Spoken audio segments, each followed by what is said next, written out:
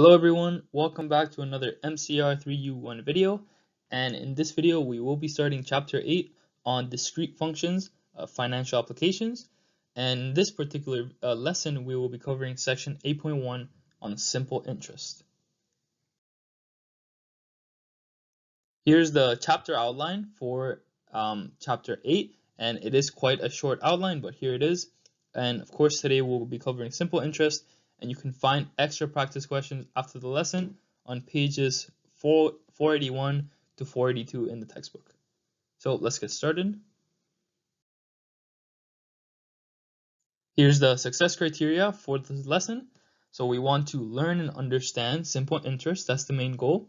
And then we want to learn the formula for simple inter interest and the formula for amount, which we'll get to what that is in the next slide.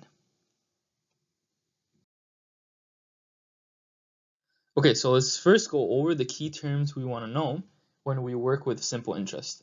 The first is principal. Sorry. The first is principal. This is the actual amount we want to invest or borrow initially. So if I'm investing into a bond or if I'm borrowing money for a house or for a car, this is principal. This is the money um, that we're getting from the start. Then simple interest is the interest earned or paid depending if you are investing or borrowing, right? So if you're investing, you earn interest, and if you're paying, um, sorry, if you're borrowing, then you pay interest. And only on the original amount, remember, original amount of money invested or borrowed, aka the principal. This means that with simple interest, we only take a fraction of the beginning value. Um, the fraction depends on the interest rate and keep adding this fraction to the total amount usually each year or uh, depending on um, how long the terms are where you have you get interest. It could be half a year sometimes, two years. Um, depends really on the investment you're making and where you're making it. Um, but Usually each year, you add a fraction of the beginning value to your total. That's how simple interest works. So interest is just the money earned from an investment or inversely, the cost of borrowing money. So depending if you invest or borrow, while simple interest is a type of interest. Interest itself, this interest is general. Lastly, we have amount and this is the total value of an investment or loan after we add the interest. Um, so after, of course, the first year, you're not going to earn any interest because you just invested the money. so your amount is going to be your initial amount, your principal. But after your first year, right, depending again on the term, after your first year of the investment, you're going to get money into your account or into your um, where you're keeping the money and your amount is going to be the principal plus your interest that you have earned. Um, and and yeah, so uh, depending on what year or how many years have gone by, this increases. So we'll go through an example and we'll actually see how this works. So the example says Amanda wants to invest $2,000 her bank will pay 6% of principal per year. Each year, the money is kept in a savings account that earns of simple interest. Calculate the interest earned and the amount of the investment at the end of first year. So it says Amanda invests $2,000. So this $2,000 right here is going to be our principal. Principal. Oh, no, not that one principal. And her bank will pay 6% of principal per year. This is our int interest rate. 6%. Um, and this happens because the money is kept in a savings account and some savings account earn simple interest. So it says how much interest is earned and the amount of the investment at the end of the first year. So if we want to calculate for amount, we use this formula. So our amount is going to be our principal value, which is 2000, plus our interest earned after our first year, which is going to be 2000 times our interest rate. So our 0.06, which is going to be our 6%. so again, how simple interest works is that you take whatever the um, the interest rate is that the uh, investment earns interest by, um, and you take that fraction of the initial value and you add it to your total amount. So right here, each year you're adding 6% of 2000 to your total amount. So our total amount right now is 2000. We're adding 2000 times 0.06, which is going to give us 6% of 2000. So this is going to be 2000 plus and 0, uh, 0.06 times 2000. It's going to give us 120. So by the end of the first year, this is going to be our amount, $2,120. If we kept on to a second year, then our amount would be, again, using this equation, our initial value, which is our principal, plus 2000 times 0.06 plus another 2000 times 0.06, or you could just say 2000 times 0.06 times 2. So this interest, this I right here, is our total interest that we're earning after so many amount of years, right? It's not just the interest we earn after the first year. The interest we earn after the first year is just this, but now we're adding a second term because after two years, we gain that interest again. And remember, as you can see, it is 6% of our principal value again, right? Because after first year, we have 2,120, but we don't take the interest of this number, we take the interest of the principal. So this is going to be 2,000 plus 2 times 120, it's going to be 240, and this is going to give you $2,240 after second year, right? And it also says calculate the total interest, and the total interest is just going to be this part, right? Our I in our amount equation, right? So it's just going to be 120 for the first year and 240 if two years pass. But this question only asks us for um, how much interest after first year, and so that is 120. Now some facts that we should know and understand about simple interest. It is actually calculated, sorry, it is calculated only on principal, as we just saw. And uh, some people get confused with this um, and compound, sorry, some people get confused with simple interest and compound interest. So just remember that we only work with principal and take a fraction of the principal number and add that to our total after each term passes and each each term being usually a year. Then, unless otherwise stated, oh, should have pointed this out, but now we're here at our second point, that unless otherwise stated, an interest rate is assumed to be per year, as I said, um, so we will gain simple interest usually after each year passes. And lastly, uh, the amount and interest earned are linear functions in terms of time because they both increase at the same rate the yearly interest we get, we add it to our amount, but we also add it to our total interest earned, right?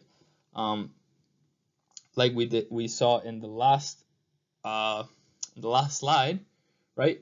We earned $120, right, every year, and we add that to our total. So our total increases by 120 each year, but our total total interest also increases by 120 each year because that's just that's just how much interest we gain each year. So they're going to increase at the same rate. Here's the simple interest formula, which goes like this. Um, it says total interest equals, total interest being here, equals the principal amount times the interest rate times the time, which we usually count in years. And again, let me explain this formula we're calculating for total interest. So we want to know how much interest we have gained after so many amount of years or so many amount of terms where we gain interest. So what we do is we take our principal value and we multiply it by the rate and this will give us the fraction, the fraction of our initial amount that gets put in our account each year, right? That we gain each year if we're investing or that we have to pay each year if we're borrowing money. And we multiply it by how many years have gone by. So after three years, for example, if our initial value is 2000 and our rate is 10%, right? We're adding 10% of 2000 um, into our account, which is um, 200. So we're adding 200 into our account each year. And let's say three years have gone by, so we multiply it by three. So we're gonna get 200 times three, we're gonna get $600, and that makes sense because each year we gain 200. If three years go by, we're gonna gain 200, 200, 200, uh, which is 600. Here's the amount formula for simple interest, and the amount equals our principal plus our total interest, right? Because our total amount, as I said, we already saw this formula. We get our initial amount, and we add how much interest we have kind of um, gained throughout all the terms or all the years that have, that have gone by. Now, if we substitute in our interest formula from our last slide, we get P plus PRT, right? PRT, we just saw it on the last slide. And now if we factor out a P, or a principal, we get P times 1 plus RT. That's it, P times 1 plus RT, R being our interest rate again, and T being our time as usual. And so the formula that we'll mostly be using is A amount is equal to principal times 1 plus the rate times time.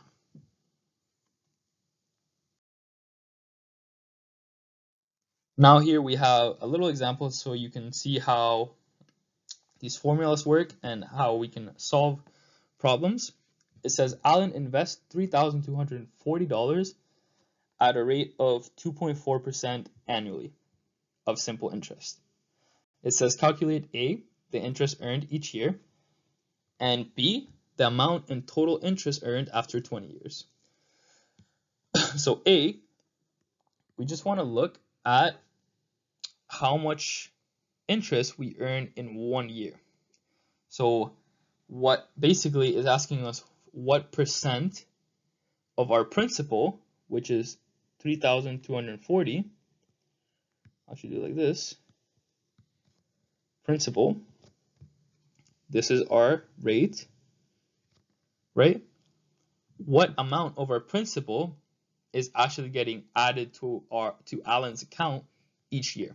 And we can simply get that by we're going to say interest per year. So we're going to say interest per year is our principal times our rate.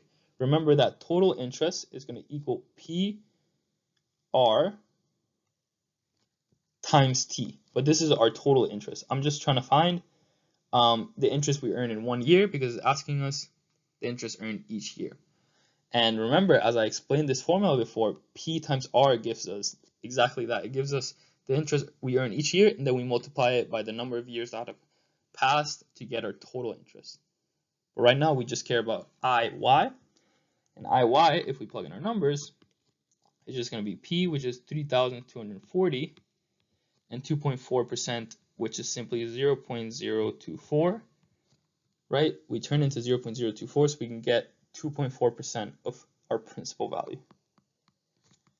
If we plug this into our calculator, we will get 77.76 dollars. Therefore, the interest earned each year is 77.76.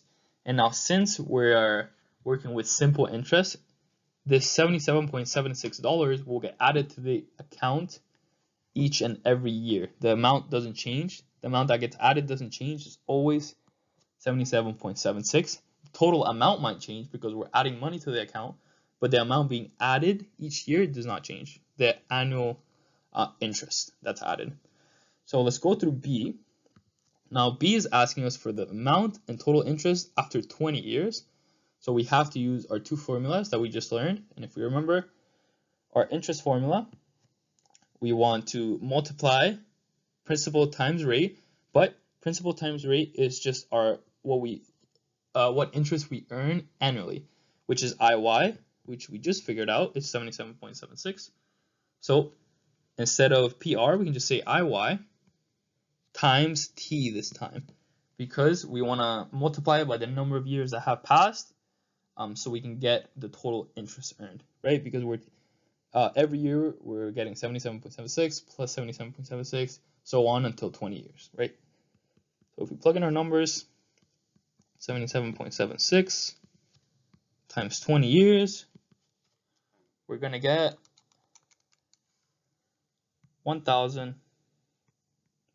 1,555.20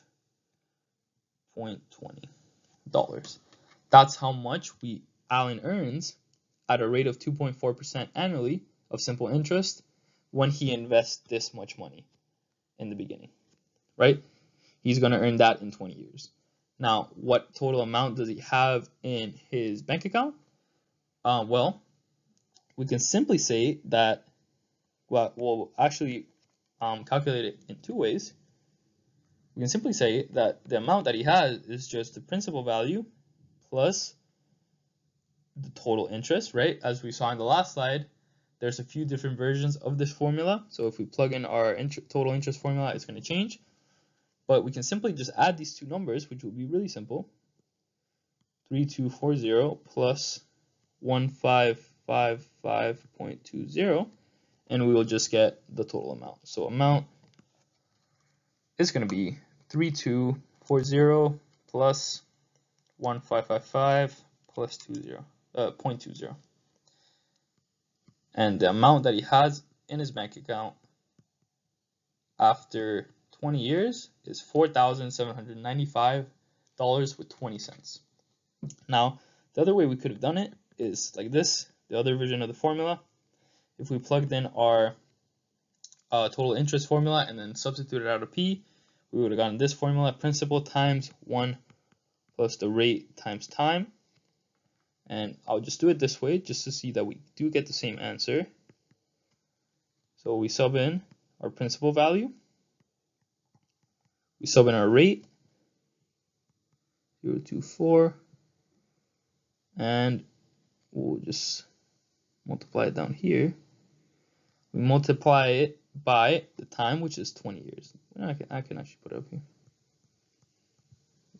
Right?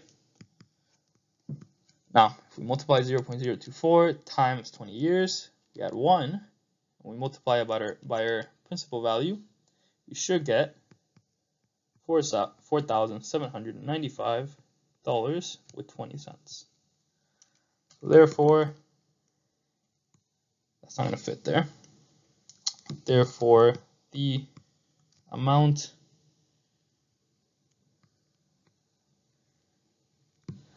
I'll actually say after 20 years, the amount earned is amount or no the amount is four thousand seven hundred ninety five dollars twenty cents and the total interest earned is put it down here. $1,555 with 20 cents. And that's the end of our question. Okay, and that is it for simple interest, guys. Thank you for so much for watching, and make sure to keep practicing. I hope you found the video useful.